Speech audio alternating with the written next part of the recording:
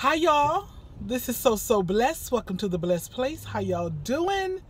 I had no intentions of talking to you all today because I put out a video already today, which was my daughter who spoke at church yesterday. So if you have not seen that, you might have saw the title and thought you weren't interested because it says the good news of the gospel and you might feel like you weren't interested in that because maybe you already know the good news or perhaps you're not even interested in the good news.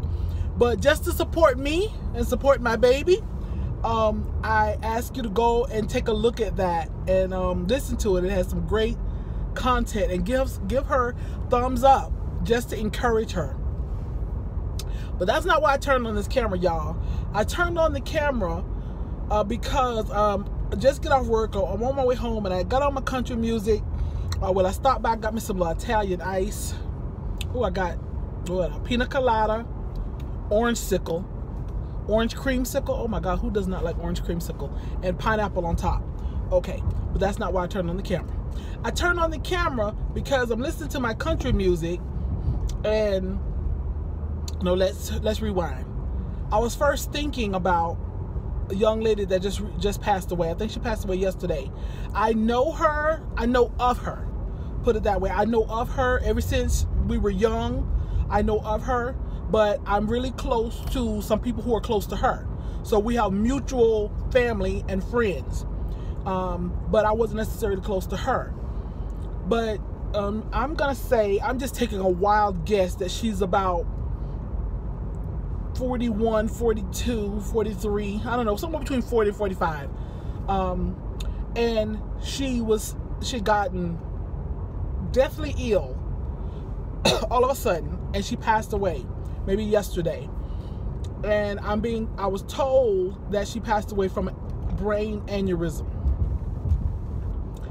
So as I'm thinking about that and thinking about how short life is, how fickle life is, um, thinking about my own mortality because every time I hear about somebody passing away, especially someone who's like of a younger age, I start thinking about my own mortality and, th- and realize that, you know, I'm 51, I'll be 52 in just a few months.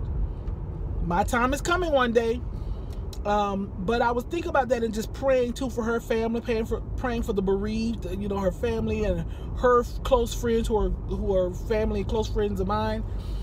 And so I'm thinking about that and praying about that. And then my country song comes on from Scotty McCreery, one of my fave country singers. Um, he won um, American Idol one year. I've loved him since then. But he has a song called Five More Minutes. I absolutely love that song because, of course, my mind goes to my dad. That if I could just have just five more minutes. So the whole premise of the song is enjoy your life, enjoy your family, enjoy your loved ones. Because if we could just have five more minutes. And that's why I turned on this camera because I just want to encourage you all to not sweat the small stuff. Y'all, we are too overly concerned and too hurt and defensive and offensive about the smallest things. Um, we are bickering about the smallest things. We're getting upset about the smallest things. We're getting irritated by the smallest things. And I'm saying we, not y'all, but we. Just give you an example the other day, I think it was yesterday. My husband got out of the shower and he asked me, um, baby, where, let me see what he said, baby, where are do I have? Oh, what, baby. Do I have any um clean shorts? Do I have any nice shorts? Because I think we were getting ready to go to the movie and uh, see Avenger, and he asked, "Do I have any nice shorts?" And I said, "You should know better than I do whether or not you have shorts or not." And um, I don't know why I was irritated. I was irritated by him asking me that and I don't know why I was, and I've been kind of pondering, did you, why were you irritated? You know, why, why did that irritate you so much?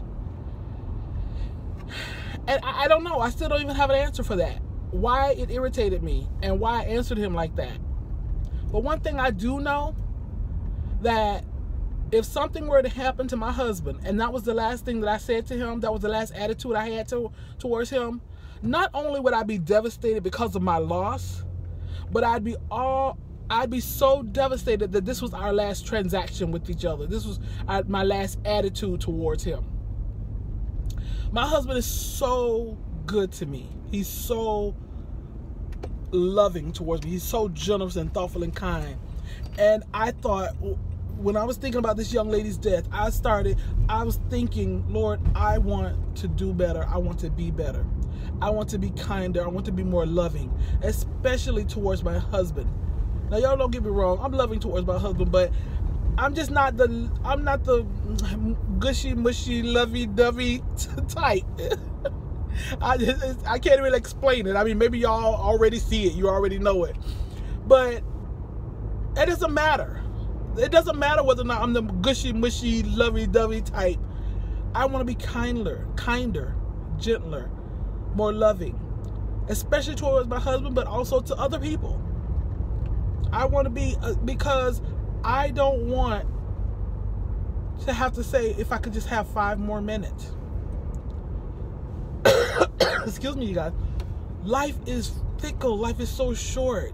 Don't get me wrong. Life is good, y'all. Life is the to me better alternative than the other alternative.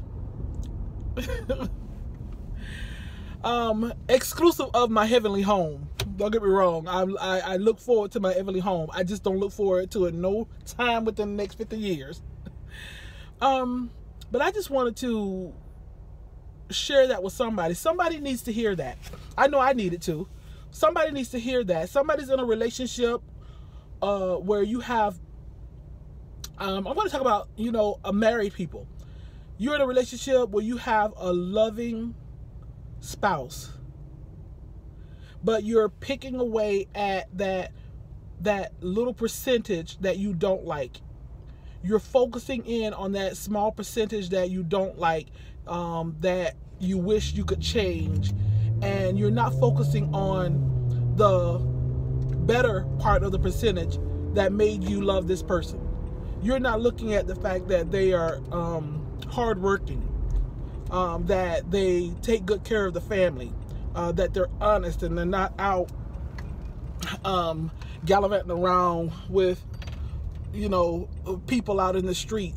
You're not looking at that they're protector of your family, or you're not looking at that wife that she is um, good with the children.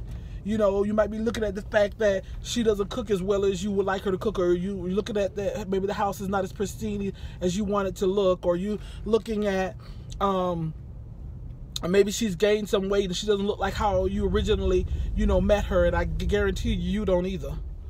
Um, but you're looking at um, a lot of the things that don't really matter in life. You know, is she taking good care of your kids? Does she take good care of you? Um, is she honest? Is she taking care of those bills? You know, you got some women, you get them money, and before you know it, y'all y'all about to lose the house or the car, and you didn't even know it. Is she taking care of those bills? Um, is she loving you? Same way, you know, vice versa. Is that man loving you? Is he protecting the home? Okay, maybe he doesn't um, fulfill you the way you want him to fulfill you. But that's why I always say, and I'll keep saying, that you have to learn to fulfill yourself. You have to learn to love yourself. You have to learn to enjoy yourself. You have to learn how to be happy yourself yes you want somebody to add to that because you might say well why do i want a spouse if he's not going to add anything or she's not going to add anything you definitely want someone to add but adding and making up a whole is two different things. So um i just wanted to share that with you guys. I'm, I'm home. And i just want to um, share with you guys when i thought about the passing of um she's not my friend in any shape or form but i do know her. And like i said i know family members who's really, really, really close to her. Um, and my heart just goes out because I think she has young girls in their teens, and it was so unexpected. This life is unexpected. So I implore you to number one, make your calling and election sure. Know where you're going when you pass away. If you say, I don't know, contact me, inbox me, so we could talk about that thing because eternal life is serious and you're going to have eternal life somewhere. So that's serious. But also, too, while we're here on earth, don't sweat the small stuff, y'all. Life is so short. Don't sweat the small stuff. Enjoy life. Be happy. Be happy. All right, y'all. Be blessed.